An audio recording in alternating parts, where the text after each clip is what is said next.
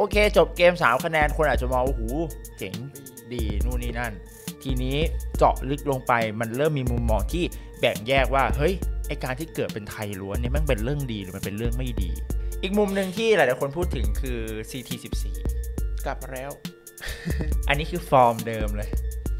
ถามถ้าถ้าเมื่อวานไม่ชนะอะ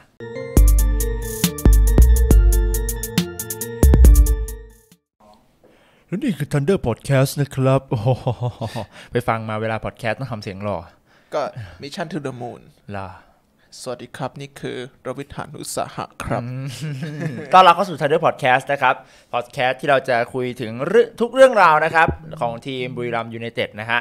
วันนี้เดินทางมาหลากหลาย EP จนแทบไม่ได้นับแล้ว EP ที่8แล้วครับก็ถือว่าโอเคนะเขาเรียกว่าในทุกๆ สัปดาห์ก็มีแฟนๆบุรีรัมย์แล้วก็แฟนๆทีมอื่นที่เขาเรียกว่าเข้าอกเข้าใจในในคอนเทนต์นี้มากขึ้นนะว่านี่เป็นพอดแคสต์ที่โฟกัสแล้วก็ collab กันระหว่างบุรีรัมย์ SII กับดูรู้บอลไทยครับวันนี้ครับหัวข้อเราว่ากันอยู่แล้วนะครับ ว่าหลังจากจบเกมที่บุรีรัมย์เก็บอีก 3 คะแนนแซงไปอยู่ที่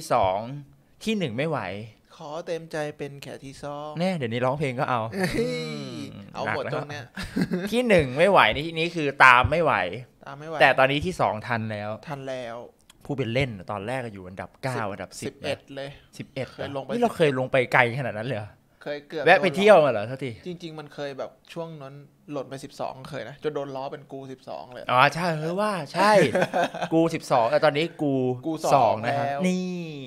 ขอแอคซะหน่อย เออแต่ดีจังเลยอะมันเป็นช่วงเวลาที่ 2 ทีมที่ผมเชียร์มันแบบขึ้นอยู่ในนะโมเมนขาตัมขึ้นที่ดีบุรีรัมย์นี่ไม่แพ้มากี่นัดแล้วอะก็แพ้บีจีไงก่อนนั้นเนี่ยแต่เรียกว่าแพ้ได้ไหมนั้นนั้นอะแพ้เปล่าแพ้ก็คือแพ้แพ้ดีก็ชิคืบอหาแพ้ยนะครับโอเควันนี้นะครับ ท็อปิกหลักที่เราจะมาคุยกัน แล้วก็คงต้องการขอมุมมองความคิดเห็นของคนดูด้วย ไม่ได้ต้องการสร้างความแตกแยกด้วยนะ ผมแค่รู้สึกว่ามันเป็นท็อปิกที่น่าจะได้เห็นเหตุและผลมุมมองต่อเรื่องนี้ หลังจากจบเกมของสิงห์เชียงราย เราได้เห็นสควอต11ตัวจริงแรก รวมถึงตัวสำรองครับ ที่ไม่มี2ต่างชาติ และการ11ตัวมีเพียงแค่เควินอินเกรโซคนเดียวป็น ที่เหลืออีก 10ตำแหน่งเป็นคนไทยทั้งหมด ครับผมโอเค จบเกม3คะแนนคนอาจจะมองว่าโอ้โหเจ๋งดีดีนู่นนี่นั่น ทีนี้เจาะลึกลงไปมันเริ่มมีมุมมองที่แบ่งแยกว่า เฮ้ยไอการที่เกิดเป็นไทยล้วนเนี่ยมันเป็นเรื่องดีหรือมันเป็นเรื่องไม่ดีครับวันนี้เดี๋ยวมาคุยกันได้แต่ก่อนไปคุยเรื่องนี้นะครับ ขอบคุณผู้สนับสนุนของเรา แน่ไม่มีอียังไม่มีแต่เข้าได้นะครับ ช่วงนี้ร้อนนะฮะได้ข่าวช่วงนี้ก็เยอะเหมือนกันนะเราหลายจ็อบนะอยากอยากอยากให้ได้เยอะกว่านี้ ไปหลังเกมหน่อย เชียงรายมาเยือนที่ช้างอารีนาสถิติเขาก่อนเกมเขาบอกว่าอะไรนะ เชียงรายไม่เคยชนะที่นี่เลย10ปีแล้วตั้งแต่ตั้งแต่เจอกันที่เชียงรายไม่เคยชนะเลย อืมจริงๆอะก่อนหน้านั้นอะก่อนปี 2019บุรีรัมย์ชนะรวดเลยนะก่อนอืจะมมาเสมอเมื่อฤดูกาลที่เชียงรายได้แชมป์อืมนะครับ ทีนี้ก่อนเกมมาเนี่ย 11 ตัวจริงออกมาอย่างที่บอกผู้รักษาประตูพี่แชมป์ศิวรักษ์นะครับ หลัง 3 เป็นพี่โยงพันษา อภิวัตงูลำหิน แล้วก็ชิติพัฒน์ชิติพัฒน์แทนกลาง ตรงกลางมีรัตนากรใหม่คามิ ยืนคู่อินเกรโซนะฮะ ซ้ายเป็นสัสลักขวานฤบดินทร์กลับมาหลังจากแบน ตรงข้างหน้า 3 คนเนี่ย ก็จะมีพี่โน้ตจักรพันธ์แก้วพรหมสุประชัยใจเด็ด แล้วก็สุประโชคสารชาติ หลังจากเห็นสควอตแล้วเป็นไงบ้าง เอาจริงผมเริ่มชินแล้วนะจริงผเหมรอเริ่มผมเริ่มชินจากการที่การจัดตัวใช้แบบนักเตะไทยเยอะๆตั้งแต่ช่วงฤดูกาลที่แล้วแล้วอะอืมช่วงท้ายๆคือบุรีรัมย์เริ่มที่จะ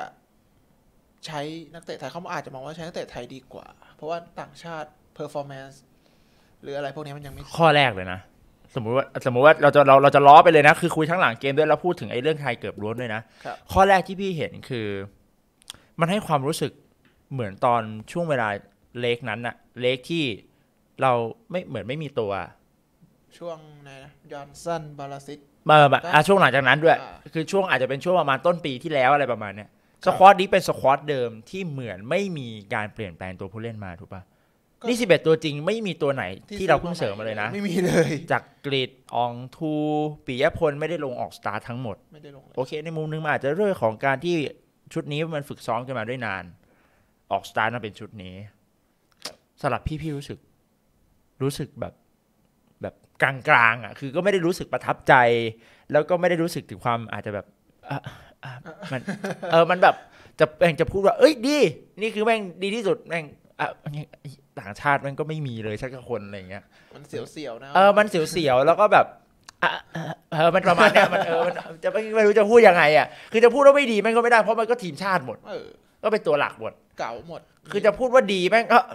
แต่แต่ต่างชาติมันไปไหนวะอันนี้ประมาณเนี้ยเออต่างชาติไปไหนมันต่างต่างชาติไปไหนวะไปเที่ยวหรือมันยังไงวะเฮ้ยเออมันอะมันประมาณเนี้ยก็เท่าที่เห็นมาเขาบอกว่าอองทูเจ็บอองชูเจ็บบีเกาเจ็บโรซ่าเจ็บโอ้โหที่ซื้อมาหายเกลี้ยงเลย ใช่ อ่าใช่ แล้ววันที่เราอัดวันเนี้ยเป็นวันเกิดโรซาด้วยนะเหรอ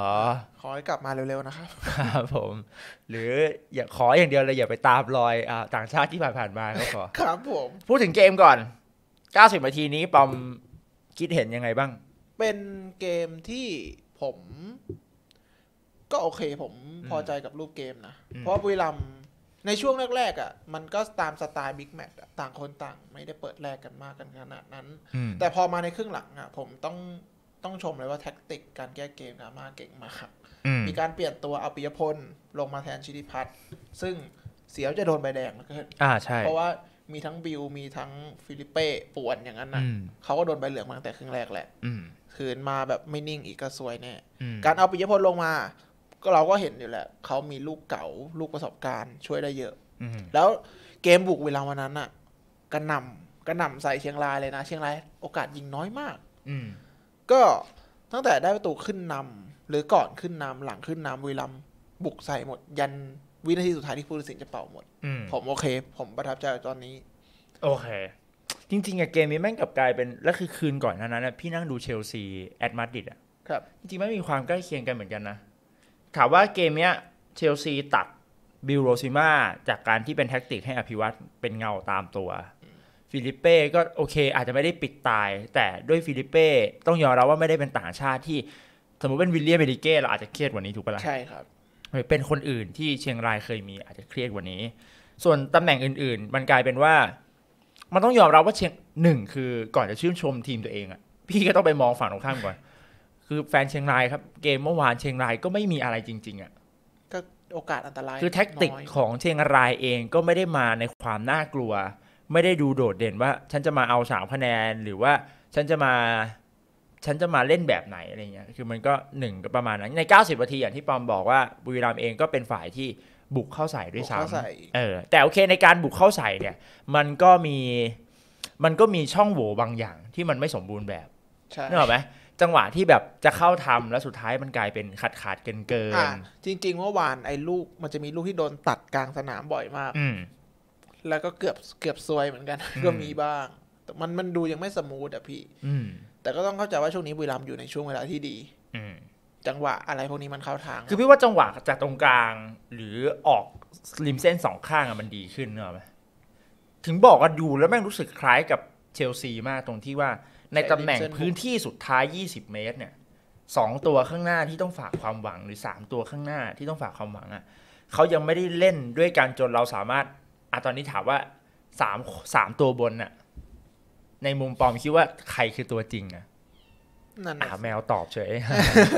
แมวนึกออกว่าคือสามตัวบนของบุรีรัมย์ในเล็กที่สองเนี่ยเราเตะมากี่นัด มันยังไม่นิ่งเลยนะยังไม่นิ่งเลยเช็คพี่เพิ่งกลับมาสองนัดนะครับอาร์มเนี่ย ตอนแรกเหมือนจะเป็นตัวหลักนะ แต่กับแอลอะไรอะเนี่ยเจ้าทีไม่เออหรกแต่กลับกลายเป็นสุประชัยก็หายหายมามาอาจจะเป็นตัวหลักก็ไม่ใช่ ตอนแรกเหมือนจะเป็นโรซาโรซาก็เจ็หายบไปก็หายไมคอนก็เป็นไมคอนเหมือนเป็นตัวจริงแค่ นัดสองนัดเองมั้เจองบีจีกับสุพรรณอาจจะประมาณนั้น มีอีกนัดหนึ่งที่เออยืระนยองคู่โรซาอะเจอบีจีอ่า เนี่ยมันแบบสุดท้ายมันไม่แล้วไอการที่มันไม่มีเบอร์หนึ่งของแต่ละตำแหน่งเนกอะปะคือตัวอ่าตัวกลางรุก ตัวหน้าสองคนมันถูกเวียนไปเรื่อยๆ วิธีการเขาทำมันเลยไม่นิ่งสักทีไงหรือเราจะมองว่าเขาพยายามโรเตชันไหมอันนี้อาจจะเป็นส่วนหนึ่ง สาเหตุหนึ่งที่ทำให้ตรงนี้ไม่นิ่งคือเรื่องของโรเตชันก็อาจจะใช่ แต่พีกับพี่ต้นนี่ก็ลงตลอดเลยนะอ่าทีนี้อันนี้ในมุมแรกของพี่พี่รู้สึกว่าการเข้าทางของบุรีรัมย์อาจจะยังไม่ได้แบบสมูทจ๋าขนาดนั้น แต่ถามว่าถ้าแผงอื่นมันเล่นดีหมดอะ ชัยชนะมันเกิดขึ้นได้ใช่อ่าอันนี้คือหนึ่ง อีกมุมหนึ่งที่หลายๆคนพูดถึงคือ CT 14 กลับมาแล้ว อันนี้คือฟอร์มเดิมเลย ใช่ไหมคครับ เอาพูดถึงที่ทีมสี่หน่อยสองนัด คนวิจารณ์เยอะมาก เหลืองสองนัดเลยนะ เหลือสองนัดเลยนะแล้วก็พลวดพลาดสองนัดเลยนะ ถูกเปลี่ยนออกสองนัดไหม เราจะโดนด่าไหมครับเนี่ย ไม่โดนหรอกวิจารณ์นักโดนเตะเปลี่ยนสองนัดจริงเหมือนกัน อืมก็โชคดีได้เกมมา เนี่ยกลายเป็นเกมได้รับความชมันมมันเป็นยอะมันเป็นลยะการลิงก์กันระหว่าง CG14 กับรัตนากร เกมที่แล้วเนี่ย CG14 ลงมาเนี่ย เกือบโดนเกมนั้นไม่มีรัตนากรใช่เพราะว่าโดนแบนครับ เกมนี้ CG14 ถูกเปลี่ยนออก และดันรัตนากรใหม่คามิลงมาเล่นในตำแหน่งเซนเตอร์คนที่สามใช่ คิดว่ามันเกิดอะไรขึ้นกับเขาหนึ่งพี่ว่าอันดับพี่นะ ล้างสนามมานานนะโอ้เป็นปีปะตั้งแต่เป็นเจ็บปีเป็นปีมาเจอเมืองทองตอนล้างสนามมานานแล้วก็ เขาเรียกว่าสีน่งสีหน้า หรือแม้กระทั่งไม่ภาษาความมั่นกายใจดูไม่ค่อยยังไม่ค่อยมีอ่าความมั่นใจเท่าไหร่ใช่เพราะฉะนั้นการที่สไตล์การเล่นของเขามันเป็นคนที่ถึงลูกถึงคนน่ะ เพราะฉะนั้นจังหวะจะโคนมันอาจจะยังไม่ได้สมูทเหมือนเก่า แล้วตอนนี้เขาอายุยี่สิบเก้าแล้วอืม จะจะยังไปต่อไมาแล้วกับประเด็นทีเนี่ยอีกาไหมเนี่ยที่มากกว่านั้นคือ CT14 กลับมาในวันที่กองหลังไม่มีตัวต่างชาตินะ ใช่ เพราะเมื่อก่อนที่ เขาลงเนี่ยเขาลงเคียงคู่ต่างชาติบุรีรัมย์มาตลอดเลยอะเขาลงกับตูเนสเขาอุ่นใจนะออสมาตูเนส เนี่ยพวกเนี้ยออเตเซนอืมเนี่ย แต่หลังๆมาเขาต้องพิสูจน์ตัวเอง ถามว่าการที่เขายืนกับตูเนส หรือถ้าได้ยืนกับดีเกาเนี่ย แล้วกับกัน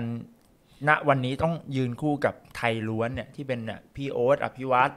หรือพี่โยงพันษาเนี่ย ความมั่นใจมันก็ต่างกันนะอืมนึกออกไหมเล่นข้างเคียงคู่ใครอะมันก็คงส่งผลแต่หผมมดว่าอะสไตล์ของเขามันเป็นสไตล์แบบเข้าปะทะเข้าก่อนเข้าปะทะก่อนเลยอืมแล้วของบุรีรัมย์ตอนนี้ใครเป็นแบบสายแย่งบอลไหมพี่โยงคนเดียวไหมพี่โยงก็ไม่นะหรอพี่โยงก็ไม่ได้เป็นคือสายตอนนี้แบบเหมือนบุรีรัมย์จะเป็นเหมือนสายเข้าบอลสายทั้งหมดแล้วนะเออเพราะว่าดีเกาอะถ้าเกิด ถ้าไปดูฟอร์มเขาจะเป็นเนี่ยสายแย่งบอลจากเท้าเลยอืมประมาณนี้แล้วพอขาดหายโซนนี้ไป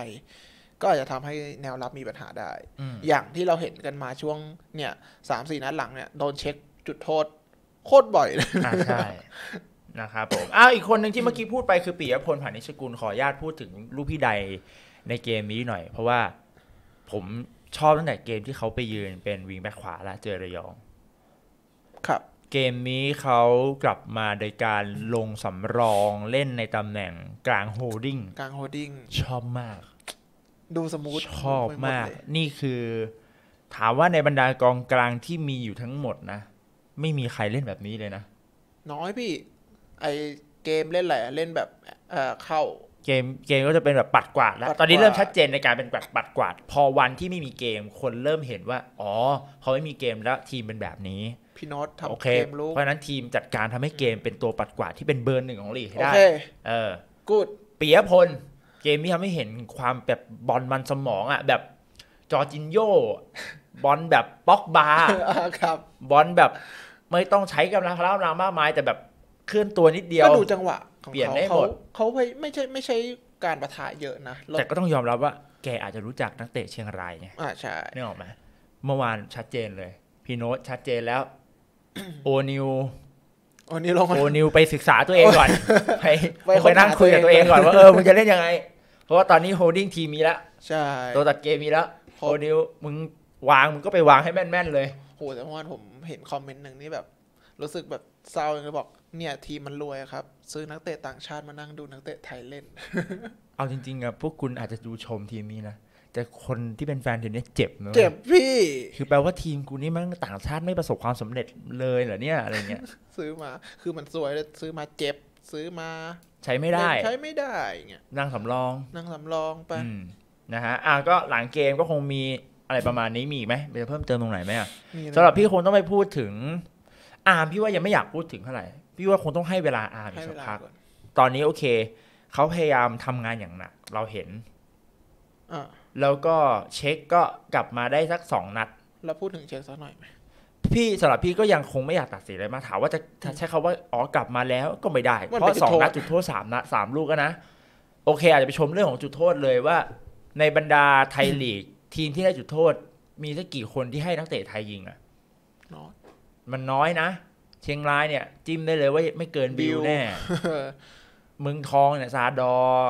แดเลแย่งกันยิง เอาจริงนะ ตอนเจอสุพรรณอะผมนึกว่าจะให้เอ่อ ให้อินเกโซยิงซะอีกนะอืมนึกว่าให้พี่โน้ตให้อินเกโซถ้าให้เช็คยิง ก็เรียกว่าใจกล้านะและเช็คยิงยิงสามลูกนี้ก็ถือว่าเขาเรียกว่าสมบูรณ์แบบนะ คือหมายถึงว่าไม่ได้มีภาวะของความแบบกลัวหรืออะไรอะ มั่นใจเขายิงเออมั่นใจมาก ถือว่าชื่นชมทั้งเช็คและก็ทีมที่กล้ายกตำแหน่งนี้ให้ แต่นะมันเหมือนเข้าจังหวะที่เราพูดเลยเขาเรียกว่าผมจะเรียกตรงนี้ว่าสุปโชคลูกอืมอ่าถ้าเราสังเกตอะช่วงที่เช็คเด่นๆอะ มันจะเป็นช่วงที่ต่างชาติไม่เด่นอืมเขาจะเด่นขึ้นมามาก ๆ เลยอืมอย่างช่วง 2016 ที่เช็คแจ้งเกิด ตอนนั้นดิโอโกเจ็บอืมเช็คขึ้นมา แล้วก็พอมาเป็นตัวทดแทนได้ทำประตูได้อืมในเกมสำคัญ พอมาในฤดูกาล 2017 ช่วงนั้นดิโอโกจาจาเหมือนจะแรก ๆ จะสลับกันลง แล้วเช็คก็ยิงแฮตทริกอืมแต่ก็ซวยไปเจ็บก่อนอืม 2018 มีตอนนั้นมีดิโอโกที่กำลังแบบกลับสุกมาสุกอืมมาก ๆ เลยตอนนั้นสุกงอมมาก ๆ แล้วก็มีต่างชาติที่พึ่งพาได้ มีพี่โน้ตมีอะไรพวกนี้ช่วยกันยิงทำให้ตอนนั้นเช็คเหมือนจะยอดไปดรอปไป แล้วก็เจ็บอีกเนี่ย มันจะวนๆอย่างเงี้ย เพราะฉะนั้นแปลว่า ที่ปองกำลังจะพูดว่าศุภโชคเช็ค loop เนี่ย มักเกิดขึ้นจากสองตัวแปรครับหนึ่งตัวแปรของการที่เจ็บแล้วกลับมาของเช็คอยู่อย่างเงี้ย วนอยู่อย่างเงี้ยอ่ามันไม่วนไม่มี ไม่มีฤดูกาลไหนที่สมบูรณ์แบบสมบูรณ์แบบร้อยเปอร์เซ็นต์ใช่ครับ แล้วมันดันเกิดขึ้นในช่วงเวลาเดียวกันกับ loop ของต่างชาติที่แบกทีมกับไม่แบกทีมวนอยู่อย่างนี้ ใช่ เพราะฉะนั้นจะกลับมาในช่วง ส่วนใหญ่จะชอบกลับมาในช่วงที่ต่างชาติไม่ได้เด่น ไม่ได้เด่นใช่เช็คก็เลยจะกลับมาแบกใช่เหมือนช่วงเวลานี้ ก็เหมือนนั่นน่ะนาเซอร์บาราซิเต้ยุคนั้นน่ะอืมยุคโมดิโบไมก้าซึ่งถ้าเอาให้ดีอะลองคิดว่าถ้าเขาเด่นในยุคที่ต่างชาติแบกต่างด้วยชาติแบกด้วยอะโอ้โห บันเทิงเลยนะเขาจะกลายเป็นเขาจะกลายเหมือนที่ทุกคนบอกว่าเขาเหมือนนักเตะไทยที่ได้เป็นโควต้าต่างชาติใช่ถ้าเขาพีคณช่วงเวลาเดียวกันกับต่างชาติ แต่ตอนนี้บุรีรัมย์มีต่างชาติเล่นเหมือนโควต้าไทยแล้วจริงๆจะต่างชาติไม่ได้เหมือนคนไม่ก็พูดไม่ได้ เอาเพราะฉะนั้นเราเราเรามาเข้าเรื่องนี้หลังเกมจบประมาณนี้นะโอเคครับทำให้บุรีรัมย์ขึ้นไปอยู่อันดับ 2 มีแต้มเท่ากับเชียงราย แต่ผลต่างประตูได้เสียมีอะมากแต้มกว่าเท่ากับท่าเรืออ่าแต้มเท่ากับท่าทูเฮเรือ head to head ดีกว่า head to head ดีกว่า แล้วก็ แต้มผลต่างประตูได้เสียก็ดีกว่าครับนะครับผมเอ้าพูดถึงเรื่องของไทยเกือบล้วนเนี่ยไอ้ปัญหาที่ว่าสุดท้ายแล้วเนี่ยต่างชาติเอาอีกแล้ว เปลี่ยนมารอบนี้กาม่าก็เลือกเองสุดท้ายทำไมผ่านไปผ่านมาไม่เคยได้เห็นลงพร้อมกัน ใช้ยังไม่ได้สักที นัดนี้เกือบไทยล้วน happy ไหมอะส่วนตัว มันก็มองเป็นปัญหาเรื่องต่างชาติได้อะมันมองเป็นสองมุมคือมองนักเตะไทยสามารถ แสดง performance โดยไม่ต้องพึ่งต่างชาติมากกับนักเตะต่างชาติที่ไม่สามารถแสดงประสิทธิภาพได้ เท่าที่โควต้าที่เขาให้มา ไม่คุ้มอืมอย่างนี้คือถ้าถามเป็นอาถามเป็นข้อๆแบบที่ปอมพูดเมื่อกี้นะ นักเตะไทยของบุรีรัมย์ดีถึงขนาดที่ต่างชาติเบียดไม่ได้ไหมอะแม่งก็ไม่ใช่อะ มันก็คือมันจะพูดอย่างนั้นมันก็ไม่ได้ คือถ้าตอบคำถามแรกแบบง่ายๆนะสำหรับพี่อะพี่มองมันเป็นปัญหานะเว้ยเออพี่มองว่า เอ้า แล้วจะมีต่างชาติไว้ทำไมวะ ใช่ เพราะถ้าถ้าถ้าสมมติจะตอบว่า happy เพราะว่าไทยแบกต่างชาติจริง ๆอะครับเราเปรียบเทียบง่ายๆนะ เอาสุประชัยใจเด็ดเนี่ย เปรียบเทียบง่าย ๆ กับเซอร์ i ิโอซัวเรสอย่างเงี้ยอะถูกไหมเดนิสมูริโลอย่างเงี้ยบาลอสไทเดลี่เนี่ยคือถ้าวันหนึ่งมันสามารถพูดได้อย่างเต็มปากว่าสุประชัยใจเด็ดสามารถดีกว่าบาลอสไทเดลี่ตอนเนี้ยอืมหรือเดนิสมูริโลตอนเนี้ยเราจะ happy ถ้าใช่ไทยลง 11 คนใช่แต่กลับกันคือ เราก็พูดประโยคนั้นไม่ได้ เพราะว่าก็ไม่ได้คือถ้าเราเราลองแค่คิดกับกันว่า ถ้าเราบริหารจัดการให้ต่างชาติ ประสบความสำเร็จกับทีมนี้ครับเหมือนโคราชอามาดูเดนนิสกิดีคันยุคเนี่ย สมมุติเรามีนักเตะสามคนของเนี่ยของทีมเราทั้งดีเกาโลซาไมคอน วันนี้สามคนนี้เล่นโคตรดี แล้วเป็นเบอร์ต้นๆของทีม บวกกับนักเตะไทยที่ฟอร์มแบบนี้ในทีม มันจะ happy ขึ้นไปอีกอะมันจะเป็นทีมที่สมสมบูรณ์แบบนะใช่เพราะฉะนั้นพี่ก็ไม่ได้มองว่ามันเป็นเรื่องที่มันแบบ อ๋อ เพราะอันเพราะเพราะที่ต้องไปนั่งสำรองเพราะไทยแม่งดี หรือพี่ว่ามันมันเหมือนน้ำกับน้ำมันอะที่มันไม่ได้ต้องคนรวมกัน ก็ถ้านั่งสำรองไทยดีอะแสดงว่านักเตะไทยนักเตะต่างชาติก็ไม่ต้องซื้อก็ได้ป่ะอย่างนั้นอะใช่ แล้วก็ถามว่า มันก็ยังไม่ได้สัมฤทธิ์ผลขนาดนั้นว่าแบบว่าว่าไม่ต้องมีต่างชาติแล้ว happy อะคือถามว่าช่วงเวลาสองช่วงเวลาที่พี่จำได้คือช่วงเนี้ยครับ ที่เรายังไม่เห็นต่างชาติลงครบ หรือลงแค่คนเดียวหรือไม่ลงเลยอย่างเกมล่าสุด เปรียบเทียบมันมูดอารมณ์มันคล้ายๆกับช่วงเวลาที่นั่นแหละ ช่วงปีที่อ่าปีที่แล้วอะที่มันแบบ ก็โอ้โหมันทำจำได้เวลานัดเจอนัดชิงประจวบอะเอานักเตะไทยสิบคนลงอะเออโอเคไอเรื่องความมั่นใจนั้นนะมันออกดอกออกผลนะอ่าวันที่คุณยิงจุดโทษห้าคนคุณให้เด็กยิง เตะมุมคุณให้รัตนากร จุดโทษคุณให้สุประโชค ครับ หรืออะไรเงี้ย ผมว่าอันเนี้ยมันเห็นผลว่ามันเป็นเรื่องดี แต่การบริหารจัดการที่ทำให้คนนอกอย่างนักเตะต่างชาติ 3 คนหรือบวกกี่คนก็ตามเนี่ยมาแล้วมันไม่เบรนเข้าทีมเนี่ย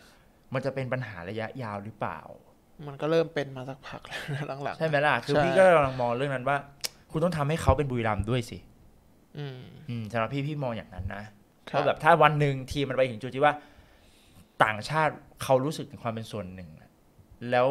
เขาสามารถแสดงผลงานได้อะแล้วประเด็นที่มันเป็นตลกร้ายไปกว่านั้นคือ นักเตะที่เขาออกไปอย่างกิดดี้คันยุกเนี่ย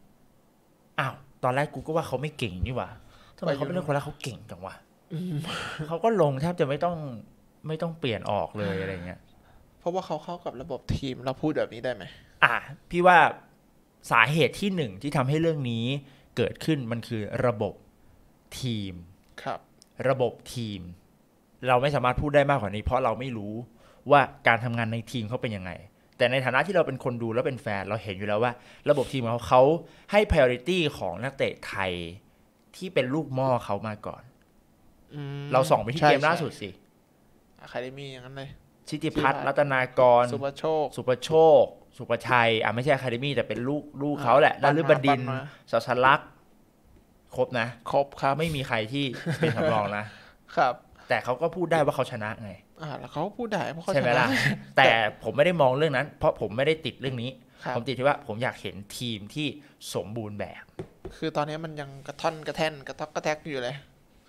ถามถ้าถ้าเมื่อวานไม่ชนะอะก็โดนดิมันพี่ก็จะมันก็จะอย่างนี้นึกออกปะใช่ที่พูดเนี่ยด้วยความเป็นห่วงนะสมมติอยู่ดีๆเมื่อวานบิลเบิร์แม่งล่อเบาะเข้าไปอ่า เรียบร้อยในในโลกออนไลน์มาแล้วนะ เป็นไงล่ะครับ ลูกรักที่จิบโดนอย่างนี้อีกนะแต่ชนะ แต่ชเงียบนะเรื่องเงียบ ผมก็เลยมองว่า ผมไม่ได้ไม่ได้ตั้งแง่เรื่องนี้ครับผมแค่บอกว่าถ้ามันจะดีมากอืมคุณใช้ระบบนี้ครับ แล้วต่างชาติเป็นส่วนหนึ่ง และทีมแข็งแกร่ง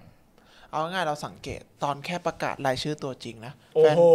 โอ้คอมเมนต์ดิ คอมเมนต์มาดิทำไมต้องส่งคนนี้ลงวะเอออ่ามาแล้วเออทำไมไม่ส่งคนนี้ลง ไอ้นั่นหายไปไหน นี่หายไปไหน ผมจะตอบยังไงดีวะ ผมก็ไม่รู้ ซึ่งตอนนี้เอาจริงๆการส่งใครลงที่เป็นนักเตะไทยอะผมไม่ได้ติดแหละไม่ติด ผมรู้สึกว่าไอไอคนที่เขาตั้งพูดว่าลูกลงลูกรักอะบางทีมันพิสูจน์ด้วยผลงานเองอืมคือผมรู้ว่าการที่คุณส่งลงคุณไม่ใช่แค่คำว่าลูกรักหรอก คุณรู้ว่าเขาเก่งจริง แต่ทีนี้เนี่ย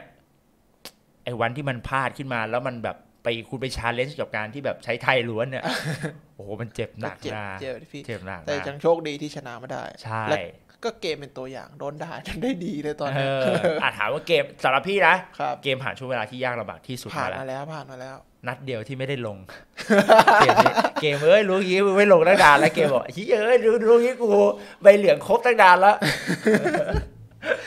เรื่องดีไหมเนี่ยเอออะก็เอาเป็นว่าผมอยากถามความคิดเห็นอะสรุปว่าปอม happy กับไม่ happy กลางผมกลางๆกลางกลางๆได้ไหมของพี่เขาใช้คำว่าไม่ได้ไม่ happy แต่ครับไม่ใช่ไม่ happy ขนาดกับการนั้นใช้ไทยล้วน ไม่ happy กับการที่ระบบทำให้ทำเป็นไทยล้วนอะทำให้ทีมยังไม่สมบูรณ์ ถามความคิดเห็นทุกคนเหมือนกันครับ ว่ารู้สึก happy ไม่ happy ยังไง ลองเลื่อนคอมเมนต์แต่เดี๋ยวเรามา preview กันก่อนครับ สุดสัปดาห์นี้เราเจอกับโคราชในการออกไปเยือน เจอถูกจังหวะ นี่คือไฮไลท์ที่โคตรสำคัญ เพราะว่ากีดี้คันยุคเท่าที่ผมได้ยินมา โอเคข่าวอาจจะออกว่ากีดี้คันยุคใบเหลืองครบมั้งหรืออะไรอย่างเงี้ยครับ แต่เบื้องหลังของเรื่องนี้คือการที่กีดี้คันยุคต้องการจะ drop เกมล่าสุดในการเจอสมุทรปราการในบ้าน เพื่อจะเจอกับบุรีรัมย์ยูไนเต็ดอืมพูดอย่างเต็มปากว่าในเล็กนี้เดือ นัดดที่ผมรอคอยที่สุดคือการเจอบุรีรัมย์เฉียดเราจะมีสระใดในสนามไม่เท่าทีไม่ไม่มีครับไม่มีหรอกเหรอแต่เอาจงๆเพราะว่าอะไรเพราะกีดี้พูดไทยไม่ได้พูดไทยไม่ได้ครับอ่าพูดภาษาอิสราเอลผมก็แปลไม่ออกเอออะลองมองถึงเกมนี้เหรอว่าจะเป็นยังไงบ้าง เกมนี้ผมมองว่าอาจจะเป็นเกมที่อึดอัดอืมเพราะว่าโคราชก็อย่างที่เราเห็นมา เพราะว่าเขาคลีนชีตรัวๆเลย เสียบตัวยาก แล้วก็แนวลุกเขาก็น่ากลัวอามาดู เดนนิสอืมคันยุก ซึ่งถ้าหากดีเกายังลงได้ไหม น่าจะลงได้แหละมั้งโอ้โห พูดมาสามเกมแล้วปอมเอ้ยปอมเอ้ยกูพูดมาสามเกมแล้วคนคนก็เห็นบทสัมภาษณ์ของกามาก็พูดว่าจะเอาลงในเกมสุพรรณแล้วนะ ผมว่ากามาอาจใช้แท็กติกเดิมก็ได้ อาจใช้อภิวัตไปปิดเดนนิส เหมือนตอนปิดบิลแต่จะปิดไหวไหม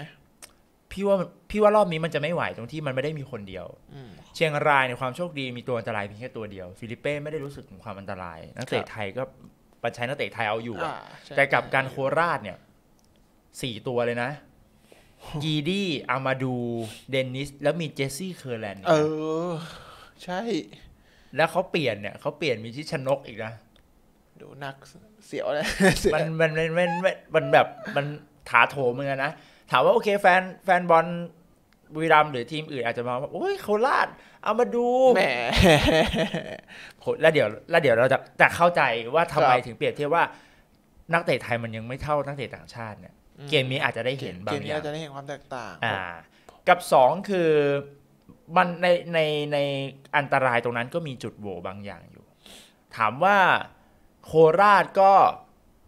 หนึ่งคือหลังไทยล้วนแล้วก็ผู้รักษาประตูอย่างธนชัยหนูราชก็เสียประตูยากก็จริง ครับ แต่คำว่าหลังไทยล้วนอะสมมติหลังไทยล้วนของเขาหลังไทยล้วนของเรา พี่ว่าสูสีกัน มันก็สูสีกันนะก็ในอย่างเมื่อกี้ในการวัดแบบอาวัดกันเลย หลังสี่ของเขาแบบประลองสาววันดี เอาจริงๆบางคนไม่ได้ติดตามเนี่ย เล่นดีมากนะประลองสาววันดีอะโอ้โหโคตรโคตรดีดีอะวัยสามสิบสองปีแต่แบบว่าสามสองสามสามแต่แบบอืม เดี๋ยวเกมนี้จะได้เห็นอ่าเกมนี้จะได้เห็นแต่แล้วถ้าก็เราเอามาเทียบกันนะ หลังไทยวิลามกับโคราชหลังๆ ก็เสียประตูยากพอๆกันนเสียประตูยากพอๆกันใช่ทีนี้มันอาจจะไม่ต้องไปวัดแล้วว่าเกมลุกจะเป็นหนึ่งยัไคือสควอตเราก่อนไหวไหมถ้าสควอตเรามันไทยเกือบล้วนเหมือนเกมล่าสุดเนี่ยครับ พี่ว่าอาจจะไม่ใช่เรื่องง่ายเลยอืมเพราะเกมโคราชหลังๆเนี่ยโอ้โหเกมบุกเขาแบบเคี่ยวไหมเขาเคี่ยวมาก แล้วเขาจับคือฟุตบอลที่มันจับทางวิธีการเล่นของกันและกันได้แล้วเนี่ยเดี๋ยวจะเห็นเกมนี้ เดี๋ยวจะเห็นเกจะมเป็นเกมนี้ที่สนุก ผมละกลัวเหลือเกินว่ามันจะแก้แค้นไม่ได้เนี่ย ผมก็เสียว เออ ยิ่งไปเยือนด้วยแล้วเหมือนว่าเขาจะให้แฟนบอลเข้าชมได้หรือยังนะ น่าจะไม่ทันไม่ทันเพราะว่าณตอนที่อัดตอนนี้เนี่ยมีข่าวออกมาแล้วว่าสรุปว่าไทยลีกเนี่ย จะทำการเขาเรียกว่าส่งแผนเนี่ยช้าก็หนึ่งมีนาคมโอ้ซึ่งไม่ทันเกมนี้ จะไปทันก็น่าจะประมาณสักบุรีรัมเกย์เจอมตราด อะเกมวันนู้นเลยอะวันอังคารเกมสองใช่ไหม เกมสามหลังจากวันนี้ไปโอเคนะครับก็เอาถือก็เอาเป็นว่ารอติดตามดู ถามว่าความพร้อมของนักเตะเนี่ยผมว่ามีสิทธิ์สูงบุรีรัมย์ไม่มีธินากร ติดโทษแบนอ้าวแล้วเกมล่าสุดลงเหรอก็ลงแล้วมาโดนใบเหลืองใช่ไหมก็ที่ลงมาดึงดึงเชิงไงพี่ แล้วก็โดนใบเหลืองไปอ๋อโอเค เรียบร้อย โอเค เพราะฉะนั้นผมมองว่า squad คงไม่ได้ต่างจากเกมล่าสุด ผมว่าคงไม่ต่างหรอก แต่เหมือนมีคน inbox เนี่ยจะมีโชดชอบคนชอบ inbox มาบอกว่าดีเกาจะกลับบอกว่ามีข่าวดีครับ ดีเกาบอกว่าพร้อมลงเกมหน้า อืม จริงป่ะถ้ามามันจะดีถ้ากมาจะดีครับ อืมถ้ามาจะเป็นตัวแปรสำคัญเหมือนกันนะครับ เอาก็รอติดตามแล้วกันนะครับ สุดสัปดาห์นี้ ติดตามมาได้ทุกคู่ไทยลีกเหมือนเดิมครับอะผมฝากกดไลค์กดแชร์ กด subscribe นะครับ แล้วก็อย่าลืมเลื่อนมาคอมเมนต์พูดคุยกันนะฮะ ติดตาม Thunder Podcast ได้ทุกสัปดาห์ อาจจะไม่ได้มีวันตายตัวเพราะว่าช่วงนี้ฟุตบอลมันเตะทีเตะทีแล้วถ้าเราอัดก่อนบอลเตะมันก็ไม่มีเรื่องคุยป่ะครับเพราะออนมาก็จะดูก็ดูโง่เง่าบอลกันหมมากดเขาไม่รู้เรื่องอะไรเลคนยก็กับจะไปดูบอลกันหมด ใช่ แล้วก็ช่วงนี้บุรีรัมย์ก็อยู่ในช่วงเวลาที่ดีอืมผมอยากให้เป็นอย่างเงี้ยยันอืมจบฤดูกาลเลยเสียดายจังเลยมาช้าไปหน่อยมาช้าไปหน่ไม่อยงั้นน่าจะบี้มันเฮ้ยแปดนัดสุดท้ายของฤดูกาลนี้พี่เต้บีว่าจีสะดุดระยองไป บีจีสะดุดแปดนัดรวดเลย แล้วก็สะดุดสมุดปะโอ้โหกลัวล้มล้มบอลแล้วเวยสะดุดสะดุดระยองไปครับอยู่ดีๆเอ้ยแต่ตัวเขาเริ่มเจ็บไง สะดุดระยองโดนจุดโทษท้ายเกมอ่าอ่าสมุทรปราการโดนจักรพันธ์สองอ่าเจริญศักดิ์วิ่งเข้าประตูไปเลย เจิมขนาดนี้เลยอ่ามโนหนักไว้ต้องอีกจกูริงๆความหวังเรายังมีฟุตบอลถ้วยนะครับครับ ช่วงเดือนมีนาอ่าเมษาก็อืมติดตามกันให้ดี ผมอืมว่า ACL ไปไหมสักที ไปต้องไปพี่ไม่หมายถึงเนี่ยที่เขากำลังจะเตะเนี่ยได้ไปไหมเออไม่ได้ไปครับไปไม่ทันครับ เอาตกรถตกลอะงรอติดตามครับเจอกันคลิปหน้าครับ วันนี้ผมแล้วก็ปอมลาไปก่อนนะครับ สวัสดีครับ สวัสดีครับ